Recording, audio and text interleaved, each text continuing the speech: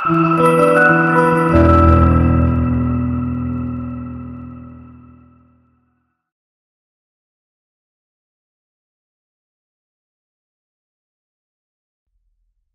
दोस्तों, मैं हूँ सत्येंद्र और स्वागत है आपका एक और नए वीडियो में। दोस्तों, डायबिटीज़ एक क्रॉनिक कंडीशन है, जिसमें आपका ब्लड शुगर लेवल नॉर्मल से अधिक हो जाता है। यह तब होता है जब आपका शरीर इंसुलिन फॉर्म नहीं कर पाता या इंसुलिन को सही से यूज़ नहीं कर पाता। हालाँकि डायबिटीज़ को पूरी तरह ठीक नहीं किया जा सकता है, लेकिन हेल्दी डाइट लाइफस्टाइल में बदलाव और रेगुलर फ़िज़िकल एक्टिविटीज़ के ज़रिए आप इसे इफेक्टिवली मैनेज कर सकते हैं। दोस्तों, यदि आप लो इम्पैक्ट फ़िज़िकल एक्टिविटी करना चाहते हैं जो आपके ब्लड शुगर लेवल को कंट्रोल रख सके तो योगा आपकी पहली पसंद होना चाहिए। इसके लिए डिफरेंट आसन होते हैं जिनमें सांस लेने की तकनीक के साथ साथ बॉडी मूवमेंट को सिंक्रोनाइज करना शामिल है। डायबिटिक एक्सरसाइज या योग आसन आपकी मसल्स को आराम देने, ब्लड सर्कुलेशन और ऑर्गन के फ़ंक्शन में सुधार करने में हेल्प करता है। रेगुलर रूप से डायबिटीज़ में योग करने से आपके पेनक्रियास के फ़ंक्शन और इंसुलिन के सिक्रेशन में इंप्रूवमेंट हो सकता है। दोस्तों, योगा इंसुलिन सेंसिटिविटी को भी इंप्रूव कर सकता है। ये आपके सेल्स को अधिक ग्लूकोज का यूज़ करने में मदद कर सकता है ताकि ब्लड शुगर लेवल बैलेंस रहे। डायबिटीज़ में शरीर के वज़न में काफ़ी चेंजेस होने लगती है। ये डायबिटीज़ के लक्षणों में से एक है। ऐसे में हेल्दी बॉडी वेट को बनाए रखने के लिए डायबिटीज़ के लिए योगा एक इफ़ेक्टिव तरीका है। मोटापा या ओवरवेट होना टाइप टू डायबिटीज़ के रिस्क फैक्टर में से एक है। अतः इन रिस्क फैक्टर से बचने के लिए डायबिटीज़ के लिए योगा ज़रूरी है। दोस्तों रेगुलर बेसिस पर डायबिटीज़ के लिए योगा प्रैक्टिस डायबिटीज़ की अन्य कॉम्प्लिकेशन जैसे कि नर्व डैमेज किडनी डिज़ीज़ और हार्ट डिज़ीज़ के रिस्क को भी कम कर सकता है। तो चलिए आज के वीडियो में जानते हैं डायबिटीज़ के लिए वो पाँच बेस्ट योगा जो आप डायबिटीज़ में कर सकते हैं। वृक्षासन या ट्री पोज यह आसन एक खड़े हुए पेड़ जैसा है।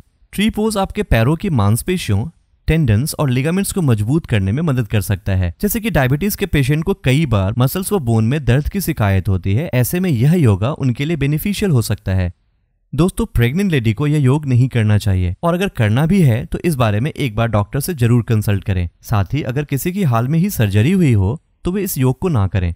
इसके अलावा किसी को अगर रीढ़, कमर या पैरों से जुड़ी कोई प्रॉब्लम हो तो उन्हें भी यह योग नहीं करना चाहिए। धनुरासन या बो पोज। दोस्तों, बो पोज या धनुरासन डायबिटीज़ के लिए एक रामबान आसन है, क्योंकि यह पेनक्रियास को हेल्दी बना सकता है। इस योग आसन का नाम धनुष मुद्रा, यानी कि बो पोज के नाम पर रखा गया है, क्योंकि इस आसन को करते समय व्यक्ति का बॉडी धनुष के आकार जैसा दिखता है। इससे आपकी पीठ और पेट के मसल्स मज़बूत हो सकती हैं। दोस्तों, इस योगा को प्रेग्नेंट लेडी को नहीं करना चाहिए। इसके अलावा पेट या कमर से जुड़ी कोई प्रॉब्लम रही हो या सर्जरी हुई हो तो इस योग को ना करने की सलाह दी जाती है।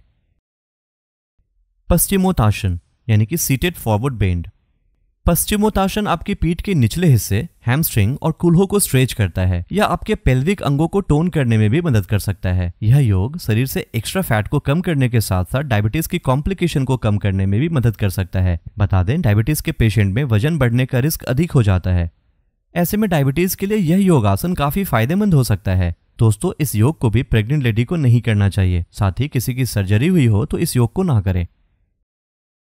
फलकासन, यानी कि प्लैंक पोज दोस्तों, यह योगासन मसल्स को मज़बूत करने के साथ साथ आपकी गर्दन और पीठ को भी मज़बूत करने का काम करता है। फलकासन आपके ब्लड सर्कुलेशन को बेहतर बनाने में मदद करता है और स्ट्रेस को कम कर सकता है। साथ ही यह योगा डाइजेशन में सहायक हो सकता है और यह आपके पोस्चर को भी सही कर सकता है। विपरीत करनी, यानी कि legs up the wall pose यह योग आपको रिलैक्स करने वाला और मन को शांत करने वाला आसन है, जो आपके ब्लड सर्कुलेशन को बेहतर करने में मदद कर सकता है। यह योगासन निचले हिस्सों में सूजन के रिस्क को भी कम कर सकता है। इतना ही नहीं, यह हार्मोनल बैलेंस और ब्लड शुगर लेवल को कंट्रोल करने में भी हेल्पफुल हो सकता है। प्रेग्नेंट वुमेन पीठ, गर्दन या कमर दर्द से सफ़र या किसी भी तरह की हड्डियों से रिलेटेड डिज़ीज़ वाले लोग इस योगासन को ना करें। दोस्तों, यह सच है कि डायबिटीज़ के मैनेजमेंट के लिए योग करने की अत्यधिक सलाह दी जाती है। लेकिन कुछ ऐसे पोज या आसन भी हैं जिनसे डायबिटीज़ पेशेंट को बचना चाहिए, जैसे कि शीर्षासन, यानी कि हेड स्टैंड पोज दोस्तों, यह एक ऐसा आसन है जो आपके सिर में ब्लड फ्लो को बढ़ाता है। इससे आपके सिर में ब्लड का प्रेशर बढ़ सकता है, जिससे आपकी आँखों की छोटी ब्लड वेसल्स को नुकसान हो सकता है। इसलिए डायबिटीज़ में इन्वर्जन पोज से बचना चाहिए। दोस्तों डायबिटीज़ में चक्रासन यानी कि व्हील पोज जैसे योग से भी बचना चाहिए। चक्रासन या व्हील पोज बहुत ही फुर्तीला पोज है, जो आपकी हार्ट रेट को बढ़ा सकता है। डायबिटीज़ पेशेंट में हार्ट रेट बढ़ने से हार्ट से जुड़ी प्रॉब्लम या स्ट्रोक जैसी कॉम्प्लिकेशन का रिस्क बढ़ जाता है। अतः यदि आपको डायबिटीज़ है तो आपको चक्रासन से बचना चाहिए।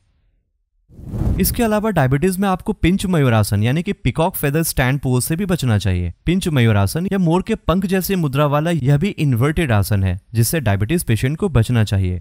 यह आपके सिर में ब्लड सर्कुलेशन को बढ़ा सकता है और छोटी ब्लड वेसल्स को नुकसान पहुँचा सकता है। विशेष रूप से आपकी आँखों को ब्लड सप्लाई करने वाली ब्लड वेसल्स को नुकसान पहुँचा सकता है। दोस्तों, कोई भी आसन करने से पहले आप अपने डॉक्टर से ज़रूर कंसल्ट करें। दोस्तों, उम्मीद करता हूँ इस वीडियो में दी गई जानकारी आपको अच्छी लगी होगी। दोस्तों, ऐसे इन्फॉर्मेटिव और नॉलेजेबल वीडियो देखने के लिए चैनल को सब्सक्राइब करना ना भूलें और वीडियो के अपडेट पाने के लिए बेल आइकन को ज़रूर प्रेस कर दें।